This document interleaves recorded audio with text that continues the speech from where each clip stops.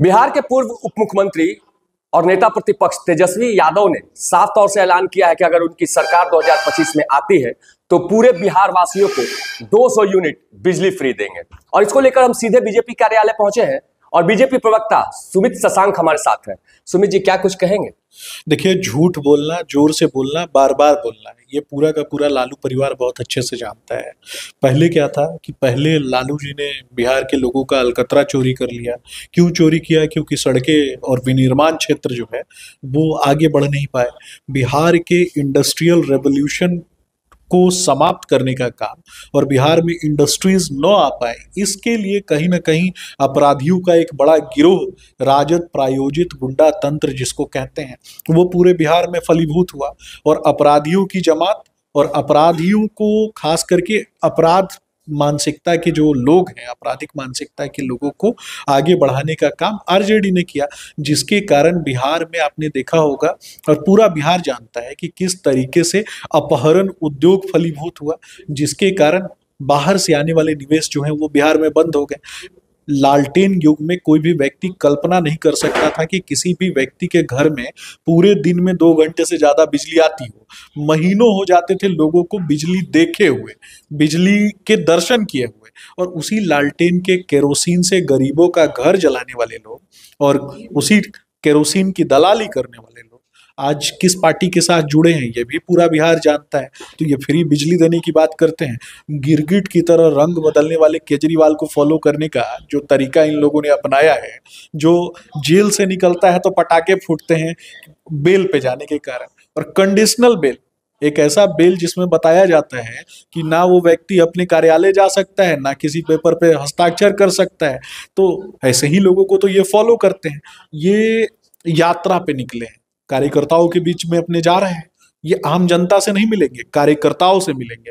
कार्यकर्ताओं में इन्होंने समीकरण क्या बनाया?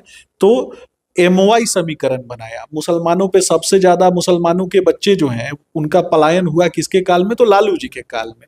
और यादवों के ऊपर सबसे ज़्यादा एफआईआर हुआ किसके काल में? तो लालू जी के काल में।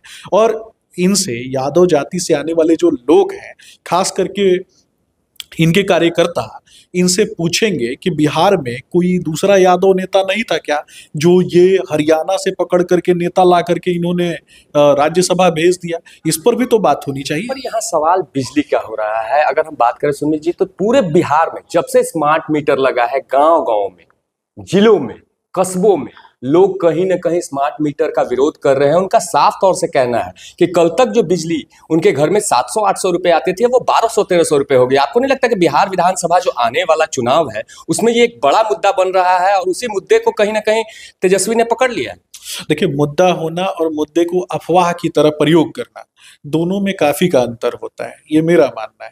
ऐसा कोई मुद्दा नहीं आज 24 घंटे बिजली लोगों को प्राप्त होती है। पहले जिसके घर में चार ही घंटे बिजली आती थी तो सात ही सौ बिल आएगा ना। लेकिन अगर आज 24 घंटे बिजली आती है और खास करके सब्सिडाइज रेट नहीं नहीं बिल भी तो ज़्यादा आता है। खास करके सब्सिडाइज रेट पे बिजली आती है और ग्रामीण तबके से आने वाले लोगों को सब्सिडी भी प्रदान करने का काम बिहार सरकार करती है। लेकिन ये अफवाह मंडली के लोग हैं। लालू जी से विरासत में इन्होंने बहुत ही स्मार्टली क्रेडिट चोरी करना सीखा। स्मार्ट मीटर इधर लगा इन्होंने स्मार्ट स्मार्टली क्रेडिट कर चोरी करना सीख लिया। अभी माई बाप समीकरण बना के घूम रहे हैं। और माई बाप दोनों याद दिलाएगी इनको, बिहार की जनता। ये झूठे वादे करने से कुछ नहीं होगा। 200 यूनिट आपको बिजली दे देंगे, ये इन्होंने वादा किया। और उसके बदले में इनका जो गुंडा तंत्र है, वो जागृत हो जाएगा। आपके घर में बल्ब रहेगा तब ना? बिजली जलाइएगा आप। आपका तो बल्ब भी लूट के ले जाएगा। घर रहेगा तो घर, तब ना आप घर के अंदर रहेंगे। आपका तो घर भी लूट के ले जाएगा। ये कौन लूट के ले जाएगा? ये राजद प्रायोजित गुंडा तंत्र ही तो लूट के ले लोग आप लोग की सरकार है बस कुछ चंद महीने बचे हैं जब बिहार विधानसभा चुनाव आने वाला है। आपको नहीं लगता कि ये बिजली और स्मार्ट मीटर एक बड़ा मुद्दा बनने वाला है?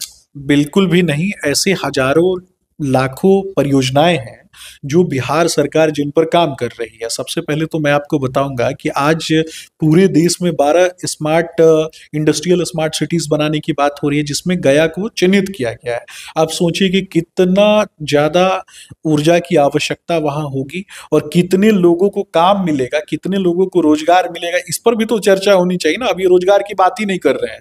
दो स्पेशल इकोनॉमिक जोन जो है वो खोलने की बात हो रही है कितने लोगों को इंफ्रास्ट्रक्चर के क्षेत्र में काम बेसिक मुद्दे पे भी हम चर्चा कर रहे हैं बिजली पानी और सड़क। बेसिक मुद्दा सड़क बिहार की सड़कें खराब है क्या? या बिजली की बात वही बात करूँ बिजली खराब है क्या? 24 घंटे बिजली प्राप्त होती है। है स्मार्ट मीटर से तो लोग त्रस्त हैं सुमित जी। 24 घंटे बिजली प्राप्त होती है और कोई भी व्यक्ति जहाँ भी समीक्षा चल रही है जहाँ भी चीज़ें स्मार्ट मीटर अथवा किसी भी नई टेक्नोलॉजी के आने से अगर कहीं भी लोगों को लगता है कि उसमें कोई भी कमी है उसको दूर करने का काम किया जाएगा। लेकिन इसके अलावा मैं पूछना चाहता हूँ कि अब अगर कहीं एक चीज़ की कमी हो जाती है किसी काम को करने में, सौ प्रतिशत हमने अपना लक्ष्य रखा, निन्यानवे प्रतिशत अगर हमने काम किया, एक प्रतिशत अगर कोई काम छूट जाता है, उसको भी करने के लिए अगर हम वचनबद्धता से काम करते हैं तो क्या निन्यानवे प्रतिशत लूट लेने वाले जो चोरों की मंडली है, जो जमात है, चोरों के जो मुखिया है, अलकतरा चोरी करने वाले जो लोग हैं, बिहार के भैंसों का भूसा लूट लेने वाले जो लोग हैं, वैसे लोगों को बिहार की जनता वोट देगी क्या? बिहार की जनता बहुत अच्छे से जानती है। तेजस्वी तो कह रहे हैं कि 200 यूनिट बिजली फ्री देंगे। आठवीं फेल और आठवीं पास नौवीं फेल व्यक्ति हैं। लालू जी जो उनके पिताजी हैं उन्होंने उनको बहुत अच्छे से पता था उस पूरे परिवार ने तय किया कि उनके राजकुमार से ज़्यादा पढ़ा लिखा व्यक्ति कोई बिहार में ना हो। तो एक कहावत है अंधों में काना राजा। तो पूरे राज्य को जब तक ये अंधा नहीं करेंगे तब तक काना राज कैसे करेगा? तो पूरे बिहार को बेवकूफ़ बनाने का काम इन लोगों ने किया था। आज बिहार की जनता बेवकूफ़ नहीं है। बिहार के युवा समझ चुके हैं। खास करके याद, यादव जाति के भी युवा समझ चुके हैं। अंधों में काना राजा क्यों? बिहार में जो यादव जाति से पढ़े लिखे आ, आने वाले जो बच्चे हैं लोग हैं युवा हैं वो क्यों नहीं विधायक सांसद मंत्री बने? लालू जी का बेटा क्यों? किसी और का बेटा क्यों नहीं? लालू जी के बेटे के सर पे कोई हीरे का मुकुट जड़ा हुआ था क्या? और हीरे का मुकुट कर्ण की तरह सोने का कवच कुंडल लेके पैदा नहीं हुए थे ना वो? तो ज़ाहिर सी बात है कि ये थे हमारे साथ बीजेपी प्रवक्ता, इन्होंने साफ़ तौर से तेजस्वी यादव के 200 यूनिट फ्री देने मामले पर बीजेपी की तरफ़ से अपनी पक्ष रखा है और साफ़ तौर से कहा है कि जिस तरह से मुद्दा विहीन और झूठ की राजनीति राजद कर रही है, उसका कोई आधार नहीं है। नीरज त्रिपाठी, न्यूज़ 24 पटना।